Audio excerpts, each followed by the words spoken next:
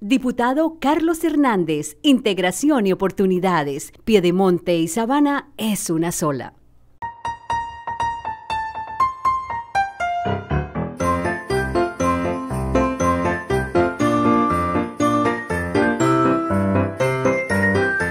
Las autoridades del departamento de Arauca desarticularon el cartel del queso dedicado al contrabando del mismo. También se logró la captura de cuatro personas durante el operativo. La Fiscalía General de la Nación, Policía y el Ejército Nacional lograron desarticular el cartel de los quesos y capturar a cuatro personas.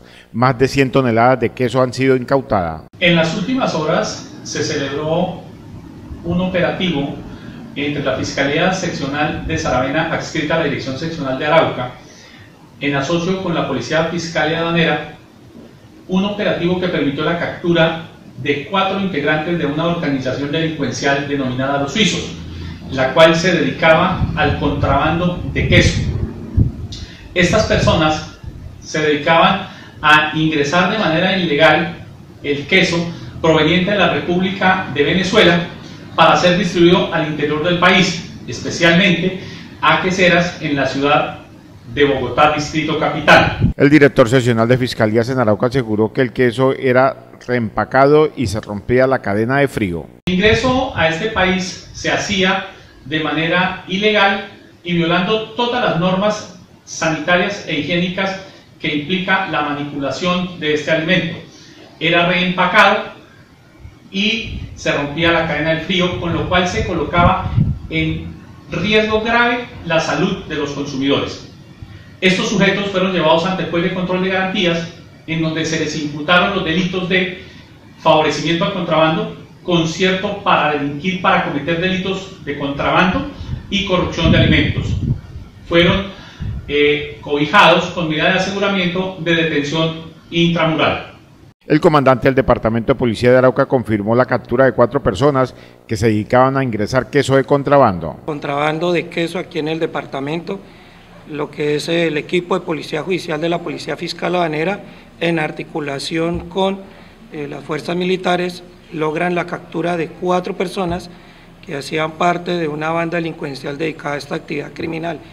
Estas personas aceptaron cargos en el momento que se materializaron las órdenes judiciales de captura y nos quedan pendientes aún dos, dos más de esta estructura criminal que esperamos poner a buen recaudo de la autoridad judicial lo más pronto posible. Es de destacar que frente a esta actividad, eh, ya nosotros como Policía Nacional se ha logrado la incautación de más de 16 mil kilos de queso durante, durante el presente año, pues que dejan ganancias de más del 700%. Eso es básicamente el reporte importante que tenemos y pues continuamos con las actividades de aprehensión que se realizan aquí en la jurisdicción de Arauca. El alto oficial manifestó que el queso era de la hermana República Bolivariana de Venezuela y era transportado en canoas a través del río Arauca. Como ustedes saben, tenemos una frontera muy porosa. Lo que ellos pasaban era el queso a través del río en canoas. De una vez ingresaban aquí en territorio eran llevados a ciertas plantas eh, tratadas para, producir el queso, pero eran de manera muy, muy artesanal y obviamente pues no cumplían con las normas sanitarias. Al parecer la guerrilla del ELN estaría detrás del contrabando del queso. Sabemos que el ELN ha estado siempre detrás de, de cualquier eh, situación que genere finanzas criminales, entonces esto no, no se descarta.